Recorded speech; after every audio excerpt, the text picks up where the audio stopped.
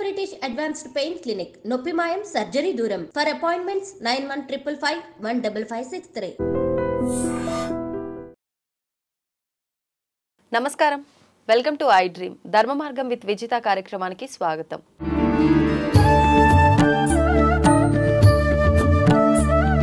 స్త్రీల యొక్క పాత్ర ఏంటి? స్త్రీలని చాలా గొప్ప స్థానం ఉంది అని చెప్పి చూసేవాళ్ళు ఉన్నారు. స్త్రీలని లోకుగా చూసేవాళ్ళు ఉన్నారు. అసలు నిజంగా స్త్రీలకి పురాణాల్లో ఒక మంచి ప్రాధాన్యత ఇచ్చారు అని చెప్పి మన పురాణాల ద్వారా మనం కొద్ది కొద్దిగా ఈ మధ్యకాలంలో వింటున్నాం. నిజంగా శాస్త్ర ప్రకారంగా మన హిందూ ధర్మంలో స్త్రీల యొక్క పాత్ర ఏంటి? వాళ్ళకు ఎటువంటి స్థానం ఉంది? ఇలాంటి మరిన్ని విషయాలు ఇప్పుడు గురుగారితో మాట్లాడి తెలుసుకుందాం. ప్రస్తుతం నాతో పాటు ఉన్నారు ప్రముఖులు వ్యాసోజుల గోపికృష్ణ శర్మ గారు. వారితో మాట్లాడి తెలుసుకుందాం. నమస్కారం అండి నమస్తే అమ్మా. స్త్రీలు ముఖ్యంగా స్త్రీల పాత్ర స్త్రీల గురించి మాట్లాడబోతున్నాం అనగానే నాకు చాలా సంతోషంగా ఉంది. అయితే ప్రస్తుత సమాజంలో చూస్తున్నాం స్త్రీలపైన రకరకాల ఇబ్బందులు. స్త్రీలు అనేసరికి ఆ నువ్వు ఆడదానివి అని ఒక లోకువ భావము ఉన్న వాళ్ళు ఉన్నారు. లేదు స్త్రీలే అన్నిటికన్నా గొప్ప అని చూసేవాళ్ళు ఉన్నారు. అసలు ఏంటండి? స్త్రీలకి ఎలాంటి గొప్పతనం ఉంది? ముఖ్యంగా మన సనాతన ధర్మంలో స్త్రీల యొక్క పాత్ర ఏంటి? వాళ్ళని ఏ రకంగా వివరించబడింది అక్కడ వాళ్ళ గురించి? తప్పకుండా. మొదలుగా భారతీయ స్త్రీలందరికీ నమస్కరిస్తూ ఎందుకంటే స్త్రీ అంటేనే అమ్మ రూపం. అమ్మ రూపం. స్త్రియ సక విద్యా సమస్తా స్తవ దేవి భేదా స్త్రియ సమస్తా సకల జగత్సు అని చండీ సప్తశతిలో ఒక మాట చెప్తారు. స్త్రీ రూపంలో ఉన్న ప్రతి ఒక్కరూ కూడా అమ్మవారి స్వరూపమే అని మన శాస్త్రం చెప్తోంది. ఇది మార్కండేయ పురాణంలో చండీ సప్తశతిలో అమ్మవారు స్వయంగా చెప్తుంది ఈ మాట. అంటే ఆడవాళ్ళకి ఎంత ఉన్నతమైన స్థానం మన ధర్మం చెప్తుంది అంటే ఒక మాటలో చెప్పేశాం. అమ్మవారే స్వయంగా స్త్రీ స్త్రీయ సమస్త సకల జగత్సు అని అంటుంది. స్త్రీ రూపంలో ఉన్న ప్రతి ఒక్కరూ కూడా నా రూపమే అని అమ్మ చెప్తూ ఉంది. అలాంటి అమ్మ స్వరూపాలైన భారతీయ స్త్రీలకందరికీ మనస్ఫూర్తిగా నమస్కరిస్తూ ఎదికించిత స్త్రీల గురించి మన శాస్త్రంలో ఏం చెప్పారో మనం ఒక మాట మాట్లాడుకుందాం. అలాగే ఎందుకు భారతీయ స్త్రీలను అని అన్నాను అంటే భారతీయ స్త్రీలు మాత్రమే అమ్మవారి స్వరూపాలు. ఎందుకు అంటే భారతీయ స్త్రీ అంటేనే ఒక అమ్మ రూపం. అంటే ఒక విలువలతో ఒక నియమాలతో ఒక నిష్ఠలతో ఉండేదే భారతీయ స్త్రీ మాత్రమే. మిగతా దేశాల్లో కానీ మిగతా ప్రాంతాల్లో కానీ స్త్రీని ఒక రూపంలో ఒక వస్తువులాగా మాత్రమే చూస్తారు. ఇది సత్యం. ఎవరు ఒప్పుకున్నా ఒప్పుకోకపోయినా. కానీ మన సనాతన ధర్మంలో స్త్రీని ఒక వస్తువులాగా చూడరు. స్త్రీకి ఎంత ఉన్నతమైన స్థానం అంటే లక్ష్మీ నారాయణాభ్యాం నమ అంటాం వింటూ ఉంటాం మనం కూడా. పార్వతీ పరమేశ్వరులు సరస్వతి బ్రహ్మలు లక్ష్మీ నారాయణులు పద్మావతి వెంకటేశ్వర స్వామి. ఇక్కడ అందరూ మొదట్లో స్త్రీలు ఉన్నారా పురుషులు ఉన్నారా? స్త్రీలే ఉన్నారు. నేను చెప్పిన నాలుగుల్లో ఎవరున్నారు? స్త్రీలే. ఉన్నారు. కానీ లోకంలో కొంతమంది ఓన్ బెనిఫిట్స్ గురించి రిజర్వేషన్స్ ఇస్తున్నారే. కానీ మన శాస్త్రం ఎప్పుడో రిజర్వేషన్ ఇచ్చేసింది. సిక్స్టీ పర్సెంట్ కాదు తొంభై పర్సెంట్ ఆడవాళ్ళకి ఇచ్చేసింది రిజర్వేషన్. పేరులోనే కాదు మనకు పురాణాల్లో చూసుకుంటే యుద్ధాల్లో కూడా ఆడవారిని కూడా తీసుకెళ్ళిన సందర్భాలు కూడా. చాలా ఉన్నాయి చాలా ఉన్నాయి. ఆడవాళ్ళ సలహాలు తీసుకొని యుద్ధాలు కానీ అందే ఒక మాటకు చెప్తారు కూడా. భోజ్యేషు మాత అని కూడా చెప్తారు. అంటే భోజనం పెట్టేప్పుడు తల్లి అని దాని తర్వాత ఏదైనా సలహా ఇచ్చేప్పుడు మంత్రి అని ఇవన్నీ కూడా తన భార్యకి తన ఇంట్లో ఉన్న ఆడవాళ్ళకి స్థానం ఇచ్చారు మన శాస్త్రజ్ఞులు. అంటే ఒక ఆడవాళ్ళ యొక్క మెదడు ఎంత చురుగ్గా ఉంటుందంటే ఒక పది మంది మగవాళ్ళు కలిసి ఆలోచించినా అంత ఆలోచన రాదంట.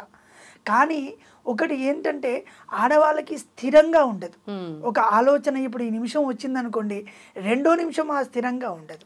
అది ఒక మైనస్ అని నేను చెప్తాను. ఉమ్, అది ఏ అంటే ఆలోచన శక్తి ఆడవాళ్ళకి చాలా ఉన్నతంగా ఉంటుంది. ఉమ్. అందు గురించే ఏదైనా పని చేసేమంటూ భార్య సలహా తీసుకొని చేయమని మన శాస్త్రం చెప్తుంది.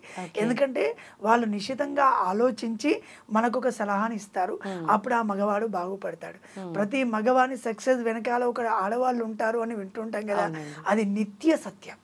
ఒక మగవాడు సక్సెస్ అయ్యాడే అంటే వాడి వెనకాల ఖచ్చితంగా ఒక ఆడవాళ్ళు మాత ఖచ్చితంగా ఉంటుంది. అలాంటి స్థానమానాలు ఉన్న ఈ సనాతన ధర్మంలో ఎత్ర నార్యస్తు పూజ్యంతే రమంతే తత్ర దేవత అన్నారు. ఇప్పుడు దేవతలు సంతృప్తి పడాలి అంటే యజ్ఞ యాగాదులు చేయాలనో లేకపోతే పూజలు చేయాలనో ఇంకొకటి చేయాలనో దాన ధర్మాదులు చేయాలనో అని ఒక వాక్యాలు ఒక మాటలు అవుతే విశేషంగా చెప్పింది ఏంటి ఈజీ పని. ఎవరైతే వాళ్ళ ఇంట్లో వాళ్ళ ఆడవాళ్ళని సంతోషంగా చూసుకుంటారో ఆ ఇంట్లో దేవతలందరూ కూడా రమిస్తారట. దేవతలందరూ తృప్తిగా ఉంటారు. లక్ష్మి స్థిర నివాసంగా ఉంటుంది. నాకు డబ్బులకు ఇబ్బంది కలుగుతుంది అంటే మొదలుగా తన తల్లిని తన భార్యని చక్కగా చూసుకుంటే చాలు. లక్ష్మి ఆటోమేటిక్గా వచ్చేస్తుంది. తల్లిని భార్యని ఇబ్బంది పెడుతూ ఉంటే మహామహులు కూడా. మట్టిలో కలిసిపోయారు. ఆడవాళ్ళని ఇబ్బంది పెట్టిన ఎవరు కూడా ఉద్ధరింపబడ్డారు అని ఎక్కడా లేదు. మహామహులు కూడా మట్టిలో కలిసిపోయిన కాలాలు ఎన్నో కథలు కూడా మనం విన్నాం వింటున్నాం కూడా. అలాంటి ఆడవాళ్ళకి ఉన్నతమైన స్థానం ఉంది. ఆడవాళ్ళకే ఎందుకు ఉన్నతమైన స్థానం ఉంది అంటే మన సనాతన ధర్మం ఎప్పుడూ కూడా దైవారాధన పరోపకారము దాన ధర్మాదులు యజ్ఞ యాగాదులు చేయమని చెప్పింది. మరి ఏ పూజ చేసినా మొదలుగా పూజ గురించి మాట్లాడుకుందాం. ఏ పూజ చేసినా మొదలుగా ధర్మపత్ని ఉండాలి పక్కన. ఉండాలి అంటే భార్య అని అర్థం. భార్య అయజ్ఞోవా ఏష యో పత్నీక అని వేదం చెప్తుంది. ఎవరైతే అపత్నీకుడు అంటే భార్య లేకుండా ఉంటాడో వివాహం చేసుకోకుండా ఉంటాడో భార్య లేకుండా పూజలు చేస్తారో అది యజ్ఞం కాదు అని శాస్త్రం చెప్తుంది.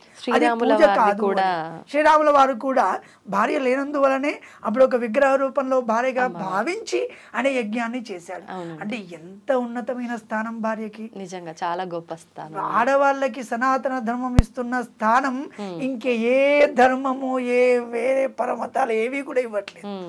కరాఖండిగా చెప్పగలుగుతాం బలగుద్దినట్టుగా చెప్పగలుగుతాం కూడా. అలాంటి ఉన్నతమైన స్థానం ఆడవాళ్ళకి ఉంటుంది. ఆడవాళ్ళకి చాలా ఉన్నతమైన బుద్ధిశక్తి ఉంటుంది. చాలా వాత్సల్యం ఉంటుంది. చాలా కరుణ ఉంటుంది. చాలా ఓపిక ఉంటుంది. భూదేవికి ఉన్నంత ఓపిక ఆడవాళ్ళకు అంటాం. మేము ఉదయం నాలుగు గంటలకు లేవగానే మధ్యాహ్నం ఎప్పుడు పడుకోవాలా అని చూస్తూ ఉంటాం. కానీ ప్రతి ఇంట్లో స్త్రీ ఈ ఉదయం లేచినప్పటి నుంచి రాత్రి పడుకునేంత వరకు ఒక పది అవతారాలు ఎత్తుతుంది. రాత్రి పడుకునేంత వరకు ఒక పిల్లవాడికి తల్లిలాగా భర్తకి భార్యలాగా అత్తామామలకి కూతురులాగా ఈ ఇంట్లో పని మనిషిలాగా ఒక వంట చేసేప్పుడు అన్నపూర్ణామదేవిలాగా డబ్బు దాన్ని సేవ్ చేసేప్పుడు మహాలక్ష్మిలాగా ఎన్ని అవతారాలు ఎత్తిన స్త్రీయే ప్రతి ఇంట్లో దేవత.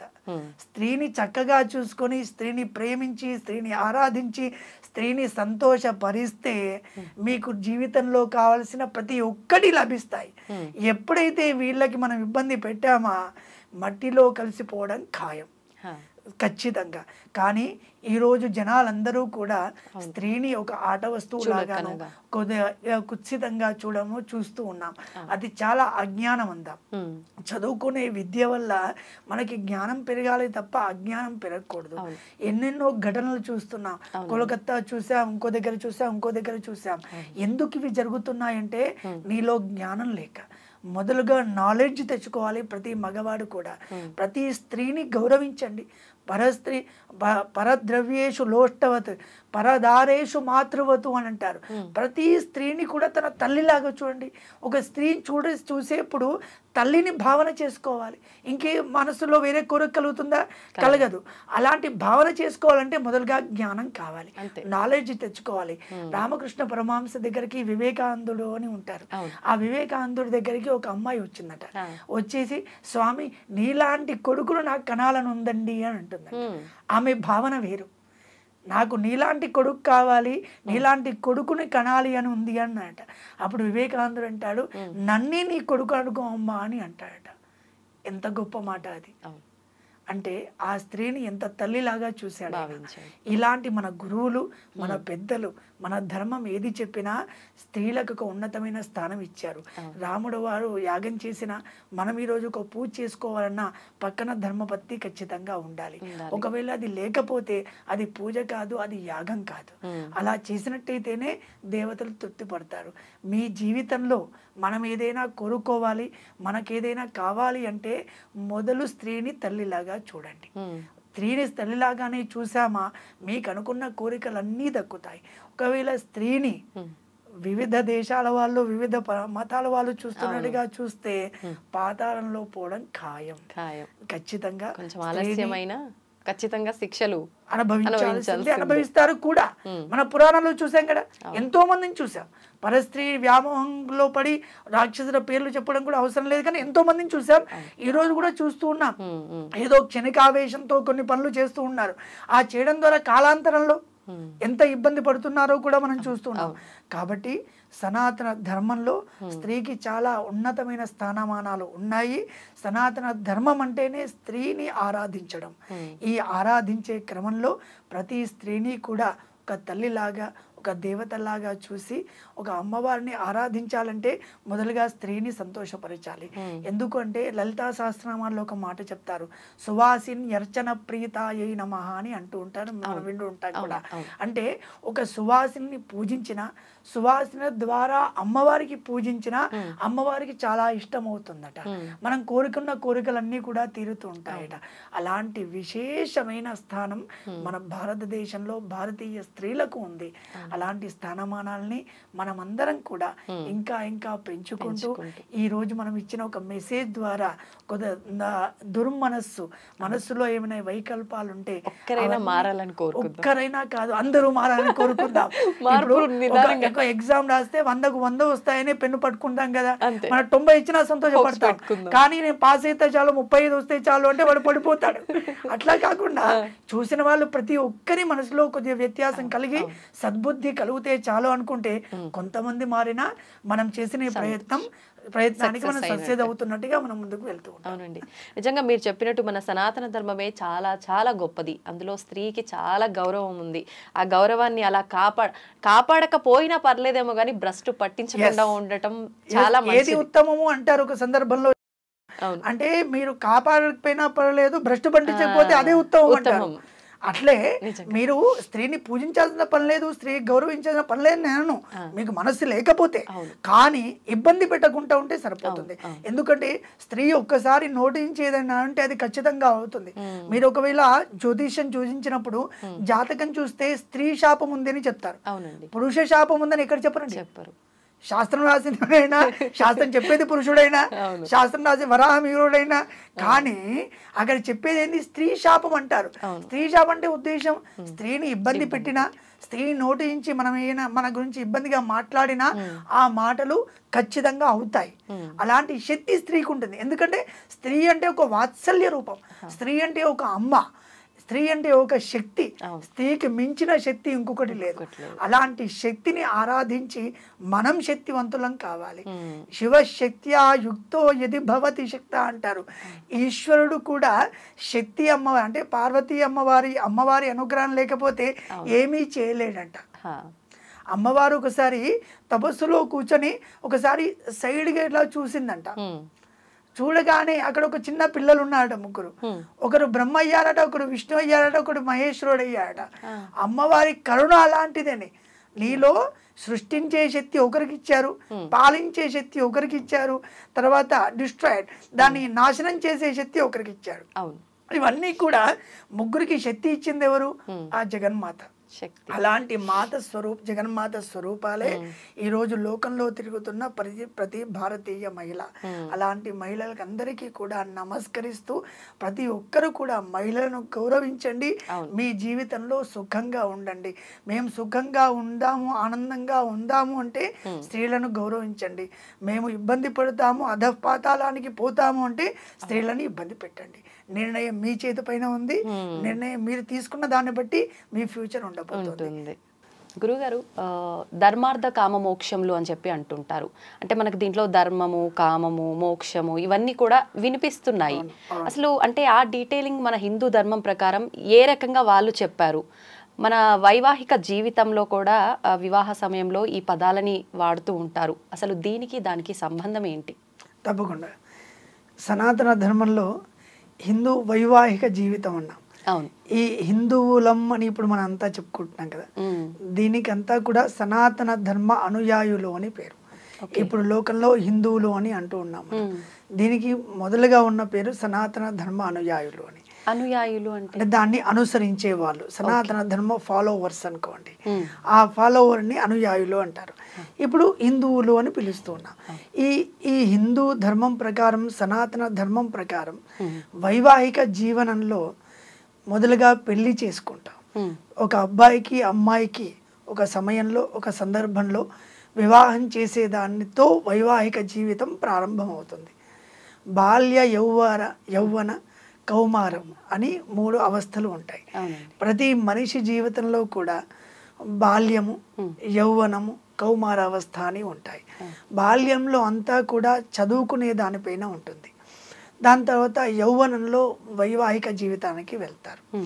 ఈ వైవాహిక జీవితం అంతా కూడా ఎందుకు చేయాలి ప్రతి మనిషి అంటే ఆ. బ్రహ్మచర్యాశ్రమము వివాహాశ్రమం రెండవది అంటాం. వానప్రస్థాశ్రమం రెండవది. మూడవది సన్యాస ఆశ్రమం అని నాలుగు. అంటే మన ధర్మంలో చెప్పేది నాలుగు ఆశ్రమాలు చెప్తారు. అంటే నాలుగు స్టెప్స్. మొదలుగా బ్రహ్మచర్య ఆశ్రమంతో ప్రారంభమవుతుంది. అవును. అనగా చదువుకోవడం గురుకుల వాసం చేయడం వెనకాలైతే. ఇప్పుడు చదువుకుంటూ ఉండడం. దానంతా స్టూడెంట్ లైఫ్ అంటూ ఉంటాం కదా. అది బ్రహ్మచర్య ఆశ్రమం. తర్వాత రెండవది వచ్చేసి ఏంటి? వైవాహికం. ఈ వైవాహికం అంతా కూడా ఎందుకు చెప్పారు అంటే ధర్మ ప్రజా సంపత్యగ్ స్త్రీయముద్వహే అని అంటారు. వివాహంలో మనం వింటూ ఉంటారు స్వాములు చెప్తూ ఉంటారు ఆ మంత్రాన్ని. ఈ వైవాహిక జీవితం అనేది మన ధర్మంలో చాలా గొప్పగా చెప్పారు. మిగతా దేశాల్లో మిగతా ధర్మాల్లో వైవాహికం అనేది ఒక స్పెషల్ సబ్జెక్ట్ కాదు. శరీరానికి సంబంధించిన ఒక కోరికను తీర్చుకోవడానికి మాత్రమే ఒక రిలేషన్గా ఏర్పడుతుంది. కానీ మన ధర్మంలో వచ్చేసి వివాహ సంబంధం అనే వివాహ విషయం అనేది చాలా గొప్పగా చెప్పారు. ధర్మార్థ కామ మోక్షములు అని పురుషార్థములు అంటారు. ఓకే. ధర్మార్థ కామ మోక్షములు అని నాలుగు పురుషార్థములు. మీరు ఏదైనా పూజ చేసినప్పుడు కూడా స్వామి అయ్యగారు అక్కడ ఉన్న పండితుల వారు సంకల్పం చెప్తారు. సంకల్పం అనగా ప్రీ అప్లికేషన్ టు గాడ్. భగవంతునికి నేను ఫలానా నేను నా పిల్లలు వాళ్ళు నా భర్త అయినా నా భార్య అయినా ఎందు గురించి నేను పూజ చేస్తున్నా అనే పర్పస్ చెప్పి చెప్పడమే పూజ. అక్కడ పండితుల వారు చెప్తూ ఉంటారు. క్షేమ స్థైర్య వీర్య విజయ అని మనం వింటూ ఉంటాం. వాటిని అష్టైశ్వర్యాలు అంటారు. అలానే ఈ ధర్మ అర్థ కామ మోక్షములు అనేది పురుషార్థములు అని అర్థం. అంటే ప్రతి మనిషికి కూడా ఈ వైవాహిక జీవితంలో ఇప్పుడు మనం వింటున్నాం ఈ పదాలు. ఈ మనిషి జీవితంలో ఈ నాలుగు పురుషార్థాలు కావాలి పురుషార్థం అంటే పురుషులు అను- అనుసరించేవి అని అర్థం కాదు. పురుషార్థములు అనగా ప్రతి మనిషి అనుసరించాల్సిన విషయాలు అని అర్థము. అక్కడ ధర్మము అర్థము కామము మోక్షము అని నాలుగు పదాలు ఉన్నాయి వీటిని పురుషార్థములు అని అంటారు. ఉమ్, మొదలుగా ధర్మము. ధర్మాన్ని ఆచరించడం ధర్మం తెలుసుకోవడం ధర్మాన్ని ఆచరించడం. ఈ ధర్మ అర్థము రెండవది వచ్చేసి అర్థము. ఈ అర్థము కూడా అర్థం అనగా డబ్బు అని. డబ్బు సంపాదించాలి ఆ డబ్బుతో సుఖంగా ఉండాలి. సుఖానికి కావ- కావలసిన సాధనాలన్నీ కూడా డబ్బు ద్వారా తెచ్చుకోవాలి. మనం సుఖంగా ఉండాలి. ఇది మన ఏం మన లక్ష్యం అవును. దాని అనుగుణంగా ఆ డబ్బు కూడా ఎలా సంపాదించాలంటే ధర్మబద్ధంగా సంపాదించాలి. ధర్మంతో కూడుకున్న డబ్బు కావాలి. ధర్మ అర్థము అన్నారు ప్రతి దానికి కూడా ధర్మము లింక్ కావాలి. అర్థం సంపాదించాలి అనగానే ఇంకొకటి పుట్టకొట్టో ఇంకొకరిని ఇబ్బంది పెట్టో డబ్బు సంపాదించమని మన ధర్మం చెప్పలేదు. ధర్మం ఎప్పుడూ కూడా స్వశక్తితో పైకి రావాలి. అన్యాయ విత్తార్జన చేయకూడదు. అంటే అన్యాయంగా డబ్బు సంపాదించకూడదు. న్యాయబద్ధంగా డబ్బు సంపాదించాలి. ఎంత శ్రమించాలో అంత శ్రమించి అంతకు తగ్గ ఫలితాన్ని తీసుకోవాలి అని మన శాస్త్రాలు చెప్తున్నాయి. అది ధర్మబద్ధమైన డబ్బు. ధర్మంతో కూడుకున్న అర్థమే యావజ్జీవం ఉంటుంది. జీవితాంతం. ఊరికే వచ్చిన డబ్బు ఊరికేనే పోతుంది. ఈజీగా వచ్చిన మనీ ఈజీగా వెళ్ళిపోతుంది. ఇంకొకరిని ఇబ్బంది పెట్టిన డబ్బు అది నీ ఆసుపత్రి పాలకో లేకపోతే నిన్ను ఇబ్బంది పెట్టడానికో ఆ డబ్బే ఉపయోగపడుతుందే తప్ప అది దాని ద్వారా నీకు సుఖం అనేది రాదు. కొంతమందికి రాత్రి నిద్ర పట్టదు నిద్ర రాదు. కొంతమందికి తిన్నది అరగదు. కొంతమందికి ఇంకేదో ఇబ్బంది కలుగుతూ ఉంటాయి. అంటే ఎక్కడో నువ్వు తీసుకున్న ద్రవ్యంలో లోపం ఉంది అని అర్థం. నువ్వు సంపాదించిన డబ్బు అది న్యాయపరంగా లేదు. దాని ద్వారా సుఖం రావట్లేదు అని. సుఖానికి కావలసిన ఉపకరణాలు అని మనం ఇంతకుముందు చెప్పుకున్నాం. ఉదాహరణకి మనం పడుకోవడానికి ఒక పది లక్షల రూపాయలు పెట్టుకొని ఒక బెడ్ కొనుక్కున్నాం అనుకోండి. అది చాలా ఉన్నతంగా అది ఒక వేల మీద లెక్క పెట్టి ఉండే వాళ్ళ దగ్గర మాత్రమే ఉంటుంది. అలా బెడ్ వేసుకొని ఉంటున్నాం. కానీ నిద్ర వస్తుందా? లేదు. క్వశ్చన్ మార్క్ కదా? అంటే ఇప్పుడు ఉపకరణం ఉంది మన దగ్గర. మనకు పడుకోవడానికి కావలసిన పదార్థం మన దగ్గర ఉంది. కానీ నిద్ర లేదు మన దగ్గర. దానికి కారణం ఏంటి అంటే మనకు సుఖంగా మనం సుఖంగా లేము అని అర్థం. సుఖానికి కావలసిన ఉపకరణాలన్నీ కూడా మన దగ్గర ఉన్నాయి. కానీ సుఖం మాత్రం లేదు. లేదు. పెద్ద బంగ్లా ఉంది. అన్ని కావలసిన కాళ్ళు ఉన్నాయి. నువ్వు సుఖ హ్యాపీగా ఉన్నావంటే క్వశ్చన్ లేదు. కొన్ని వందల మందిని మేము చూస్తుంటాం కూడా నిత్య జీవితంలో. ఎందుకంటే మా దగ్గరకు వచ్చే క్లయింట్స్ అయినా మా దగ్గర వచ్చే వ్యక్తు వ్యక్తులైనా చెప్తూ ఉంటారు గురుగారు అది గురుగారు ఇది అని వాళ్ళ వాళ్ళకున్న ఇబ్బందులు అనుకోండి సమస్యలు అనుకోండి కావాల్సినవి చెప్తూ ఉంటారు. అంటే ఒక డాక్టర్ దగ్గరికి వెళ్ళి మా నా రోగం ఇది నాకు ఇదే ఇబ్బంది అవుతుంది డాక్టర్ దగ్గర చెప్పుకున్నట్టుగా మా దగ్గర కూడా దైవికంగా చెప్పుకో ఉంటారు. స్వామి నేను ఈ- విషయంలో ఇబ్బంది పడుతున్నాను దానికి రెమెడీ ఏంటి? నేను ఏం చేసుకుంటే బాగవుతాను అని అడుగుతుంటారు కదా. ఒక డాక్టర్ని సంప్రదించినట్టుగా. అట్లా ఈ అర్థం అనేది కూడా ధర్మబద్ధంగా కావాలి. ఓకే. ఒకవేళ అధర్మబద్ధమైన డబ్బే మీ దగ్గర ఉందనుకోండి అధర్మమైన మనస్సే మీ దగ్గర ఉందనుకోండి అప్పుడు నిద్ర రాదు తిన్న తిండి అరగదు. అరగదు. రెండు కూడా మనం ప్రత్యక్షంగా చూసుకోవచ్చు. దీనికి పరిష్కారం అంటే మనం ధర్మ మార్గంలో వెళ్ళడమేనా లేదంటే ఇంకేదైనా? ఒకవేళ మీరు అనుకున్నట్టయితే ఇప్పటి వరకు ఏదైనా అధర్మ మార్గంగా వెళ్ళి డబ్బు సంపాదించామే అనుకోండి అప్పుడు ఆ డబ్బును ఫిల్టర్ చేయాలి. ఎలా? ఇప్పుడు ఉదాహరణకి ఒక బోరు వేసి మనం ఆ వాటర్ ట్యాంక్లో నీళ్ళు నింపుకుంటాం. వచ్చింది బోర్ వాటరా తెలియదు మంజీరా వాటరా తెలియదు. ఇంకో వాటరా తెలియదు మున్సిపాలిటీ నుంచి వస్తున్న వాటరా తెలియదు.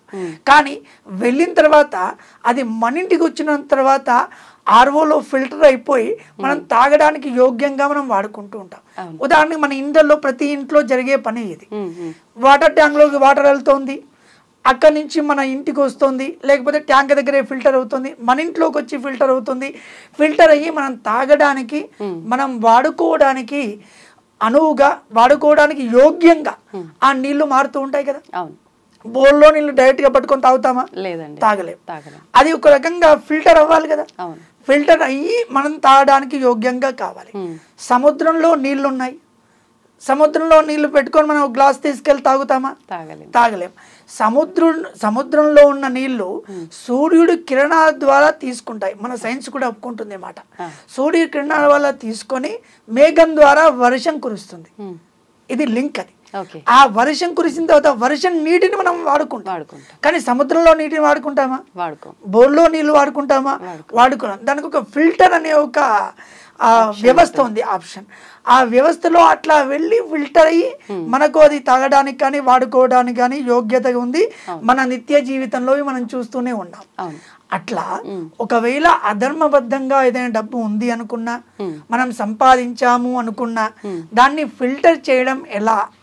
అంటే దాన ధర్మాదుల వల్ల మనం చేసిన డబ్బు ఫిల్టర్ అవుతుంది సంపాదించిన డబ్బు. దాన ధర్మాదులు అంటే ఎలా చేయాలి. నీడీ పీపుల్కి ఏదైనా ఫీడ్ చేయడం. ఇది దానం అంటాం. దానం ఎప్పుడైనా కానీ సత్పాత్ర దానం కావాలి. కడుపు నిండిన వాడికి బిర్యానీ పుట్లో ఇస్తే తింటాడే? తినలేడు. కడుపు నిండిన వాడికి మంచి పంచభక్ష ప్రమాణాలు పెడితే తింటాడా. తినలేడు. ఏమంటాడు? నేను చాలా తిన్నా అండి వాల్యూ లేదు దాన్ని సత్పాత్ర దానము అని మ్మ్. సత్పాత్ర దానం ఎప్పుడు అవుతుంది ఎవరికైతే నీడీ పీపుల్ ఉంటారో. వాళ్ళకి ఇవ్వడం ద్వారా అది సత్పాత్ర దానం అవుతుంది. లేకపోతే అది ఎవరికి ఇవ్వాలని శాస్త్రం చెప్తుందో వాళ్ళకి ఇస్తే అప్పుడు అది సత్పాత్ర దానం అవుతుంది. దానం కూడా చాలా రకాలుగా చెప్పారు. దీని గురించి మళ్ళీ ఒక సబ్జెక్టే మాట్లాడుకోవచ్చు. దానం ఎలా చేయాలి? ఎలాంటి వాళ్ళకి చేయాలి? ఆ దానం చేయడం ద్వారా మనకి ఏం కలుగుతుంది అని చాలా పెద్ద విస్తారంగా చెప్పుకోవచ్చు. ఇప్పుడు ధర్మం అధర్మంగా సంపాదించాల్సిందంతా సంపాదించి ఇదే టైము అని చెప్పి ఎంత వస్తే అంత కూడబెట్టుకొని తర్వాత నేను ఇలా సంపాదించాను కాబట్టి దానం చేస్తానంటే నిజంగా దాని నుంచి విముక్తి పొందొచ్చు అంటారా తెలిసి విముక్తి పొందలేం హండ్రెడ్ పర్సెంట్. కానీ రిలీఫ్ అయితే కొంతవరకు ఉంటుంది. ఉంటుంది. మన బాడీలో ఒక డయాబెటీస్ అటాక్ అయిందనుకోండి డయాబెటీస్ని కంట్రోల్ చేయడానికి మనం ఇన్సులిన్ కానీ ఒక టాబ్లెట్ కానీ ఒక ఏదో ఒక మెడిసిన్ తీసుకుంటూ ఉంటాం. మన బాడీలోంచి డయాబెటీస్ పోతుందా? పోదు. పోదు. ఉపశమనం ఉపశమనం ఉంటుంది. దాన్ని నియంత్రిస్తూ ఉంటుంది. మనం తీసుకున్నటువంటి ఏదైనా ఒక మందు. అట్లా ఒకవేళ మీరు కావాల్సి అన్యాయం చేసి దానం చేస్తా అంటే శాస్త్రం ఒప్పుకోదు. మీకు తెలియకుండా అన్యాయం జరిగో లేకపోతే ఈ విషయం నాకు ఇప్పటివరకు జ్ఞానం లేదు. ఏదో అజ్ఞానం ద్వారా సంపాదించాను. ఇకపైన దీన్ని ఫిల్టర్ చేసుకుంటా అంటే దానికి దారులు చెప్తూ ఉంటాయి. ఓకే. ఒక మనిషిని చంపి వచ్చేసి నాకు దేవుడు అని ప్రార్థన చేస్తే నేను పరిశుద్ధుడిని అవుతా అంటే కుదరదు కదా. మన శాస్త్రాల మాట చెప్పలేదు. ఎప్పుడైనా కానీ నీకు అజ్ఞానంతో చేసిన దానికి మాత్రమే ప్రాయశ్చిత్తం చెప్తారు. కావలసి ఒకరిని తిట్టి దేవుడికి దండం పెడతాను అంటే అక్కడ పూర్తవుతుందా? అవ్వదు. అవ్వదు. ఒకరిని ఇబ్బంది పెట్టిన ఏదో సత్కార్యం చేస్తా అంటే అవుతుందా? అవ్వదు. అజ్ఞానం ద్వారా చేసిన దానికి మాత్రమే ప్రాయశ్చిత్తం. ఒకవేళ జరిగిపోయిందండి ఇన్ని రోజులు కొంతమందికి తెలియదు. లేకపోతే మన మాటల ద్వారా కొంతమందికి ఇప్పుడు తెలుస్తుంది అనుకుందాం. అనుకోవడం ద్వారా ఇకపైన చేయకుండా ఉంటూ చేసిన దానికి పరిహారం చేసుకోవడం ఫిల్టర్ చేసుకోవడం మన డబ్బుని. అలా ఫిల్టర్ చేసుకుంటే ఏమవుతుంది? ఉన్న డబ్బు మనకు వాడుకోవడానికి యోగ్యంగా ఉంటుంది. ఎలా అయితే నీళ్ళు ఫిల్టర్ చేసుకొని తాగితే మనం యోగ్యంగా ఉంటామో మనం పెట్టుకున్న పాత్రలో అట్లా మనకు వచ్చిన పాత్రలో డబ్బు ఉంటుంది కదా. ఆ డబ్బుని మనం కాపాడుకోవాలి అంటే దాన ధర్మాదులు చేయాలి. దాన ధర్మాదులు అనగా దానం అనగా నీడి పీపుల్కి ఏదైనా ఇవ్వడం. దానం గుళ్ళు కానీ లేకపోతే బయట జనాలకి భోజనాలు పెట్టడం కానీ బట్టలు పంచడం కానీ ఏ ఏనకైనా ప్రకారైనా. చేసుకోవచ్చు. చేసుకున్న తర్వాత ధర్మాలు అంటే ఏంటి. అంటే మన శాస్త్రంలో ఎవరైతే మన సనాతన ధర్మ అనుయాయులం హిందూ ధర్మాన్ని పాటిస్తూ ఉన్నాం మన ధర్మం ఏం చెప్తోంది? ఒక గుడి కట్టించు ఒక గోపురం కట్టించు గుళ్ళో పూజ చేయడానికి వ్యవస్థ చెయ్యు ఇవన్నీ చేయమని చెప్తోంది. లేకపోతే జనాలకి ఏదైనా పంచిపెట్టమని చెప్తుంది ఈడీ పప్పులకి వీటిని దాన ధర్మాదులు అంటాం. అలా ఫిల్టర్ అవుతుంది. అలా ఫిల్టర్ అయిన ధర్మమే ధర్మార్థ కామ మోక్షములు. మళ్ళీ మనం బయటకు వచ్చాం.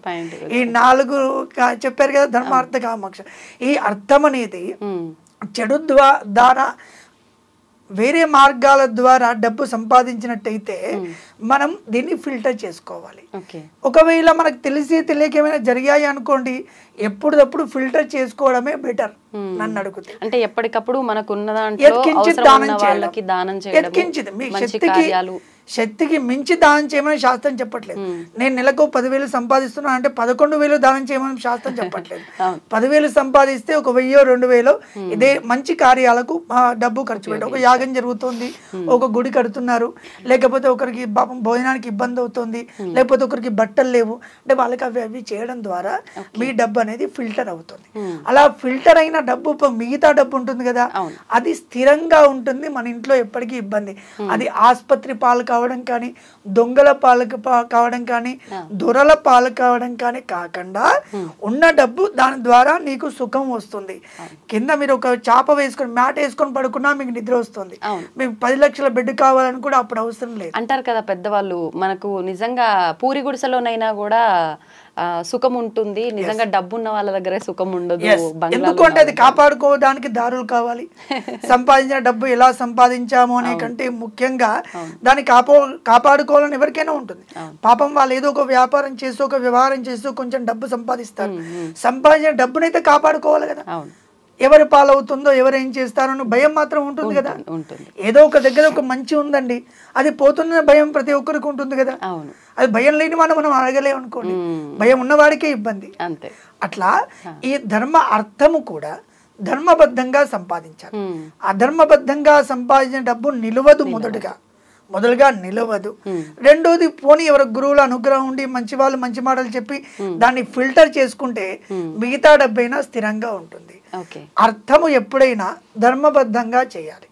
ధర్మబద్ధంగా వ్యాపారం చేయు వ్యవహారం చెయ్యు ఉద్యోగం చెయ్యి ఇంకో పని చెయ్యి. కానీ అది ధర్మబద్ధంగా ఉండాలి. ధర్మబద్ధంగా అంటే ఇంక్ నీ ద్వారా ఇంకొకరికి ఇబ్బంది కలగకుండా. ఇది ఏ ధర్మంలో చెప్పదు. సనాతన ధర్మంలో చెప్తుంది. నీ ద్వారా ఇంకొకరికి ఇబ్బంది కలగకుండా నువ్వు డబ్బు సంపాదించు. ఆ సంపాదించిన డబ్బు ద్వారా నీకు సుఖం కలుగుతుంది. రోగాల బాధ కానీ ఇంకొకటి కానీ కాకుండా. రెండవది కామం. అర్థమైపోయింది. అది ధర్మబద్ధంగా కావాలి. రెండవది కామం. అందరికి కామం అనగానే వేరే ఒక ప్రశ్న వస్తుంది అది. కామం అనే శబ్దానికి అర్థం కోరిక అని అర్థం. మన శాస్త్రం. అది కోరిక ఏదైనా కావచ్చు. మంచి భోజనం కావాలనుకున్న కోరికే.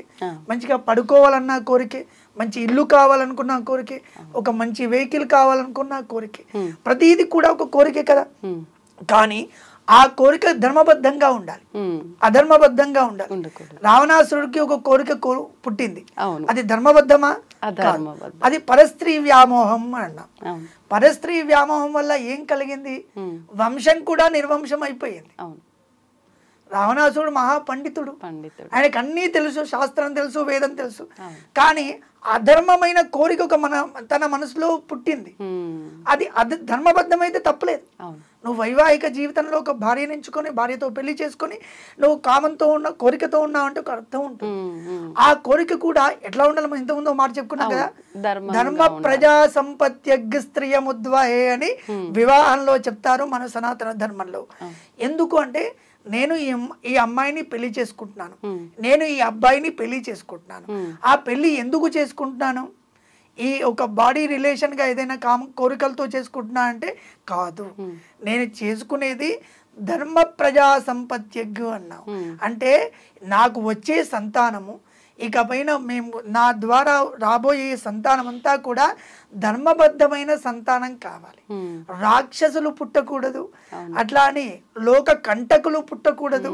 నాకు పుట్టేటువంటి పిల్లలు ధర్మ ధర్మబద్ధమైన జీవనం కొనసాగించే పిల్లలు పుట్టాలి. అలాంటి పిల్లలు పుట్టాలని నేను ఈ స్త్రీని పెళ్ళాడుతున్నాను నేను ఈ పురుషుణ్ణి పెళ్ళాడుతున్నాను అని వివాహ సందర్భంలో చెప్తారు. అదే వైవాహిక జీవితం. సనాతన ధర్మం అంటేనే ఒక గొప్ప గొప్ప స్థానం. ప్రతీది కూడా. అణువు నుంచి మహత్తు వరకు మనం ఒక రోజు గడిచింది అంటే ఉదయం లగాయత్తు రాత్రి పడుకునేంత వరకు కూడా ప్రతీది ధర్మబద్ధంగా చెప్తూ ఉంటుంది. ప్రతీది కూడా నీకు శ్రేయస్సు కలగడానికి ఏం చేయాలో చెప్తుంది. అది టెంపరీగా నీకు ఇబ్బంది కలగచ్చు ఏదైనా. కానీ శాశ్వతంలో నీకు సుఖాన్ని ఇస్తుంది. జ్వరం వచ్చినప్పుడు ఒక టాబ్లెట్ వేసుకుంటే టాబ్లెట్ చేదుగా ఉంటుంది. కానీ ఆ టాబ్లెట్ వేసుకుంటేనే రోగం నయమవుతుంది. కరెక్ట్. అయ్యో నీ చేదుగా ఉంది కదండి ఇది నేను వేసుకోలేను అంటే నీలో ఉన్న రోగం నయం. అలానే మన శాస్త్రం చెప్పింది మన ధర్మం చెప్పింది అంటే అయ్యో అది మూఢనమ్మకం అని కొంతమంది అనొచ్చు లేకపోతే ఇది ఇబ్బందిగా ఉందని కొంతమంది అనొచ్చు. ఇప్పుడు బ్రాహ్మీ ముహూర్తంలో లేవాలని అంటారు. పది గాంధీ బ్రాహ్మీ ముహూర్తం ఎవరికి తెలియట్లేదు ఇవాళ. పది గంటలకే సూర్యుడు ఉదయించారు. వీళ్ళందరినీ మేము సూర్యవంశులు అంటాం. అంటే సూర్యుడు పుట్టిన తర్వాత వీళ్ళు లేస్తారు అని అర్థం. మామూలుగా అయితే సూర్యోదయ పూర్వమే లేస్తే ఇవాళ సైన్స్ కూడా అదే మాట చెప్తుంది. అవునండి. సూర్యోదయ పూర్వం లేచి వ్యాయామాలు కానీ యోగా కానీ ఇంకోటి కానీ చేస్తే ఆ రోజంతా యాక్టివ్గా ఉంటారు. అని మన సైన్స్ కూడా చెప్తుంది. మన ధర్మం ఎప్పుడో చెప్పింది కదా. కానీ అది మనం పక్కన పెట్టేసి పది గంటలకు లేచి మన నిత్య జీవితాన్ని అంతా కూడా హరిబరిగా చేసుకొని. ఇబ్బంది పడుతూ ఇబ్బంది పెడుతూ మనం ఉంటూ ఉన్నాం కదా. ఆ జీవితంలో కొన్ని నియమాలు చెప్పారు బ్రాహ్మీ ముహూర్తంలో లేవాలి లేస్తే మంచిది నీకే అవుతుంది కదా. ఆ లేవడం కష్టమైనా లేచిన తర్వాత మంచి అవుతుంది కదా. ఇట్లా ధర్మంలో చెప్పిన ప్రతిదీ కూడా. టెంపరీగా కొంచెం మనకు కష్టంగా అనిపించవచ్చు కానీ శాశ్వత సుఖాన్ని మాత్రం ధర్మం. అలాంటి ధర్మ అర్థ కామము. ఉమ్, మూడో దానికి కామము అని చెప్పాం. అవును. ఆ కోరికలో ధర్మబద్ధమైన కోరిక కావాలి. అధర్మబద్ధమైన కోరిక కోరుకుంటే రావణాసురుడిని చూసాం. ఇంకొకరిని చూస్తాం ఇంకొకరిని చూస్తాం మన పురాణం అంటే రావణాసురుడిని చూపించింది ఎక్క ఎందుకు అక్కడ పురాణాలు అంటే అధర్మబద్ధమైన కోరిక నీకు ఒకవేళ ఉంటే. నువ్వు ఇలా అవుతావు అని చూపించడానికి మన పురాణాలు చెప్పాయి. అంటే మనం మంచి చెడులు వాళ్ళ నుంచి నేర్చుకోవడం కోసం వాళ్ళు ఒక వాళ్ళని ఒక క్యారెక్టర్గా చూపించారు. అవును ఆ క్యారెక్టర్గా చూపిస్తేనే మనకు అర్థమవుతోంది. ఉమ్, ఉమ్, ఒక విగ్రహం చూపిస్తేనే రాముడిలా ఉన్నాడు అంటాం. లేదండి అసలు భగవంతుడికి రూపమే లేదు అంటే ఒకటో తరగతి పిల్లవాడికి ఎంసెట్ కోచింగ్ ఇస్తా అంటే అవుతుందా? అవ్వదు కదా. అట్లా మీకు ఆ యోగ్యతను బట్టి మన ధర్మం చెబుతూ ఉంది. దానిలో ఈ కోరిక అనేది కూడా ఉమ్. ధర్మార్థ కామ మోక్షంలో మూడవది కోరిక కూడా అది ధర్మబద్ధంగా ఉండాలి. ఉమ్, వైవాహిక జీవితం అంటేనే ధర్మబద్ధమైన జీవితం. ఆ జీవితం చాలా చాలా గొప్పది. వైవాహిక జీవితంలో ఉన్నంత సుఖం ఇంకే ఆశ్రమంలో లేదు ఆశ్రమం అనగా మనం మొదలుగా చెప్పుకున్నాం కదా. అది బ్రహ్మచర్యాశ్రమం అని అవును. దానిలో కూడా చాలా ఇబ్బంది పడుతూ చదువుకోవాలి.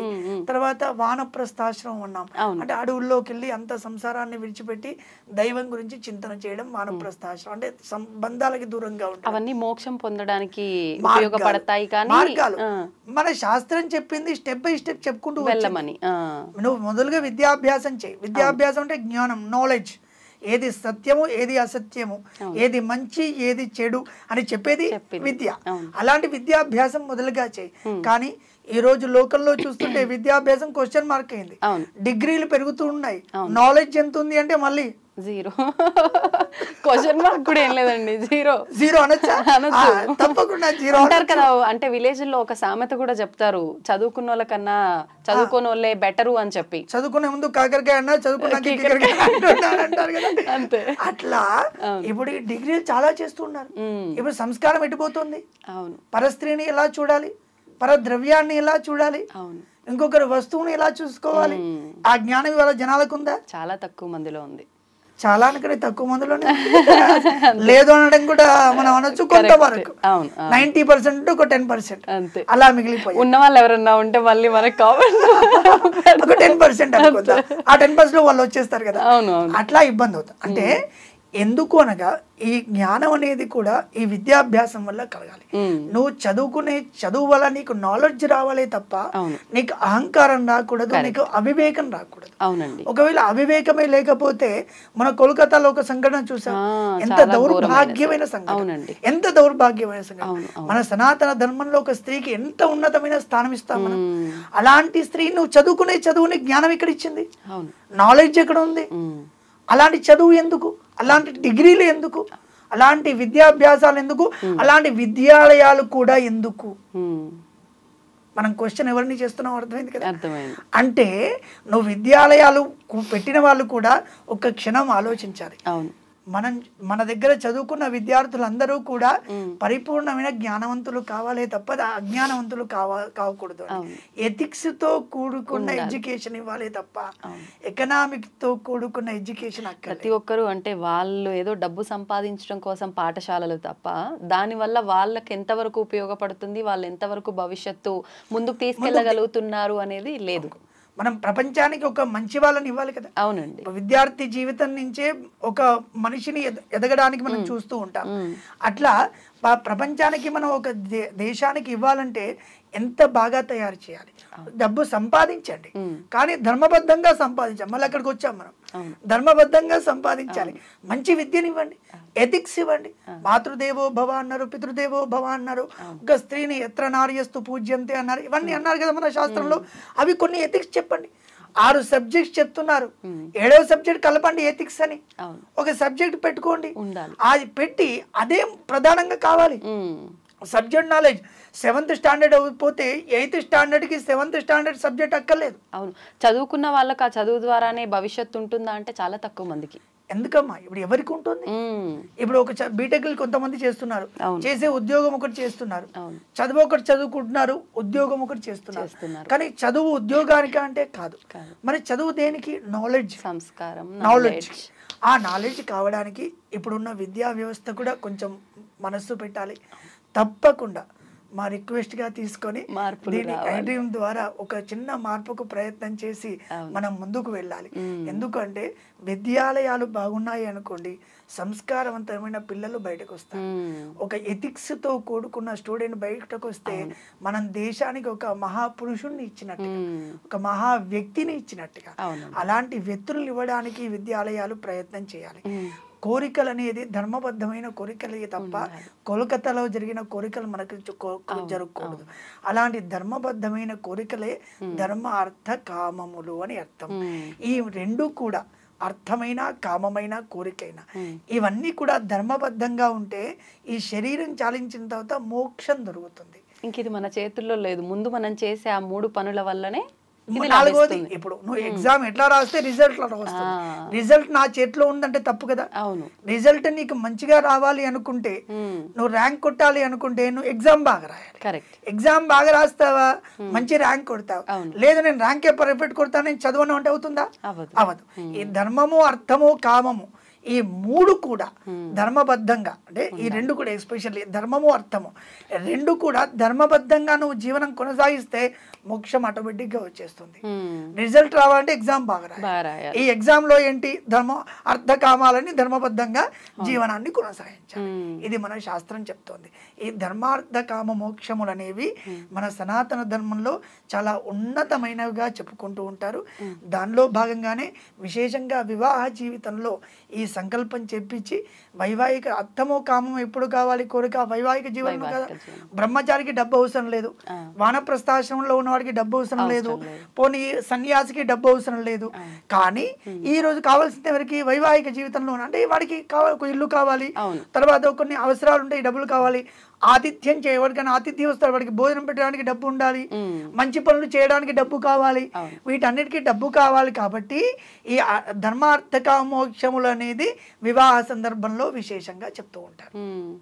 నిజంగా చాలా అద్భుతమైన విషయాలు తెలియజేశారండి. ధన్యవాదాలు. నమస్తే అమ్మ.